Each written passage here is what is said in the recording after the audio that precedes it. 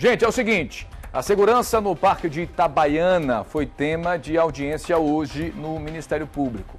O objetivo é encontrar um esquema para acabar com a violência na região. Quem acompanhou tudo de perto e traz os detalhes é Sara Medeiros.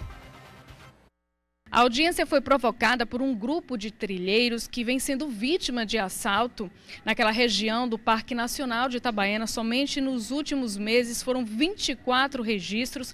Quem está aqui conosco é o promotor de justiça, doutor João Rodrigues, que presidiu essa audiência. Então, vários órgãos envolvidos aqui, esses trilheiros, pedindo segurança, porque realmente está uma situação ali desconfortável, né? Verdade, né? A situação chegou em um grau que preocupa o Ministério Público como um todo. Não só apenas apenas os promotores de justiça dos municípios em que a área do parque né, engloba. Até porque se trata de um patrimônio né, ambiental federal. E crimes comuns praticados lá dentro vêm é, tomando uma crescente que já gera uma preocupação, não só para as pessoas que é, habitualmente costumam frequentar, como o grupo de trilheiros, mas como, como todos, né? familiares, pessoas, visitantes, turistas. E o Ministério Público, preocupado com esse recrudescimento desses crimes no interior do parque, né, resolveu é, dar um primeiro passo, marcando essa audiência pública com os órgãos de segurança pública do Estado, a fim de viabilizarmos ações concretas que possam né, minimizar né, coibir né, e dizimar mesmo esses meliantes da área que tanto aflige as pessoas que frequentam o local.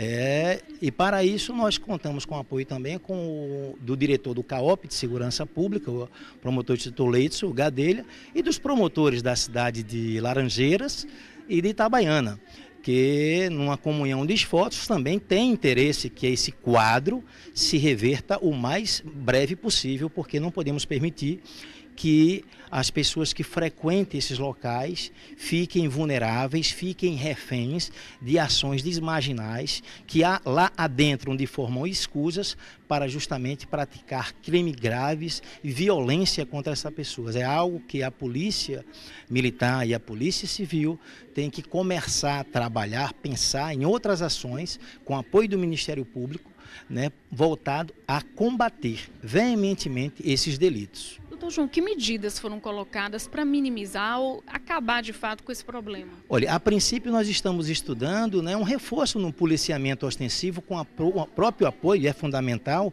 da direção do parque, com a logística, ainda que pequena, que o parque tenha, né, junto à Polícia Militar e à Polícia Civil nas investigações que os casos né, exigem, né, procurando identificar quem são esses elementos, quem já vem praticando esses crimes e continuam a praticar, para que eles sejam né, presos, né, tirados de circulação dessa área e não venham a renovar suas ações contra essas pessoas, porque se é, não se tomar medidas mais concretas, mais enérgicas, mais contundentes, né, nós não vamos ter né, uma redução nessas ações. Doutor João, muito obrigada pela entrevista, pelas informações. Segue no estúdio. Está aí, portanto, preocupação muito pertinente, viu?